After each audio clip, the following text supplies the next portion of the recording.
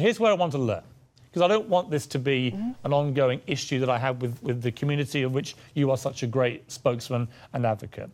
I want to learn why it is so offensive to actually just say that you grew up as a boy and you then, because you've always felt that you were female, you had surgery to become a woman, to become a real woman, as you say in the book. Why is it offensive?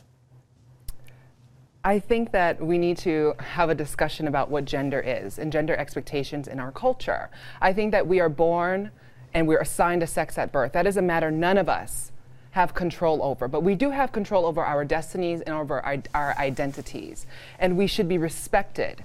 It's not about the past. It's not about what surgeries I may or may not have had. It's not about how I disclose my gender to people. It's about who I am right now. I'm Janet Mock. I'm author of Redefining Realness, and I'm a fierce trans advocate. And I will continue to be exactly that. That's what I was on this show to do. If I spoke out every single time that someone said, called me out of my name or labeled me as something that I'm not, I would not have time to advocate for the fierce and urgent issues in my community issues of poverty and joblessness, of a lack of health care, of violence, verbal and physical violence against trans women.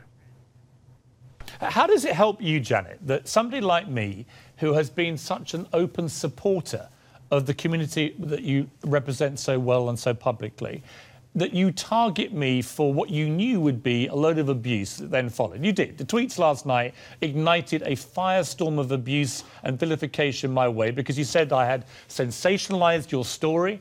Uh, I was not formally a man. I wasn't formally a boy. It was another tweet you said.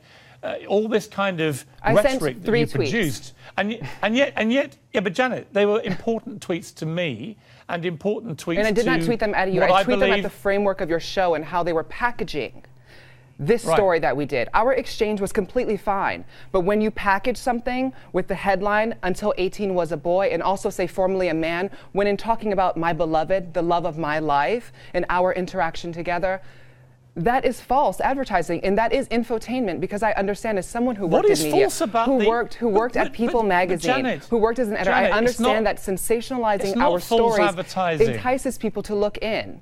But I hope that the no, best Janet, thing that we Janet, can get out of it is to be a learning res- and teaching moment for all of us. Janet, with the greatest of respect, and I mean with the greatest of respect, you've written a book, Redefining Realness My Path to Womanhood.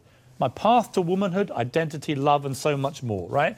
I've got here, as I say, the Marie Claire article that started your whole media profile. I was born a boy, repeatedly in your words saying I did not write I was that born a boy. piece. It's not my right. words. So let words me ask you precious a, let me ask me. you, I'm a writer. Let me ask you a simple words are question. precious, and I, I let really believe that we need question. to give people. I would like to ask you a question. Okay, can will, I ask mine first, then you can ask yours? okay. Okay. My question is simply this: Do you do you dispute that you were born a boy? Do I dispute that I was born a boy? I was born a baby, who was assigned male at birth. I did not identify or live my life as a boy. As soon as I had enough agency in my life to grow up, I became who I am. And this did not start at 18 when I went to Thailand to have surgery. It started when I was six years old, and my parents saw me for who I was and allowed me to live my life. That's a lot of nuance, okay. and it's hard to communicate that in 30 seconds or even in a 140 character tweet. That's why I'm here right now. I want this to be a learning and teaching moment for all of us because there's a lot of misunderstanding.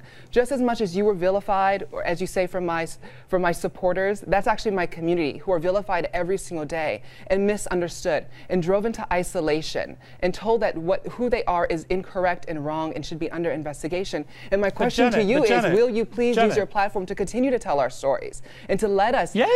Well, yes, you go. as I always That's, have done. Yes, me, and I would love me, to have coffee me, with you and sit down and have a real conversation I, off I'm air sure we, and really I'm sure we will do that. and have transcendence and, I would be and happy understand to do that. one another.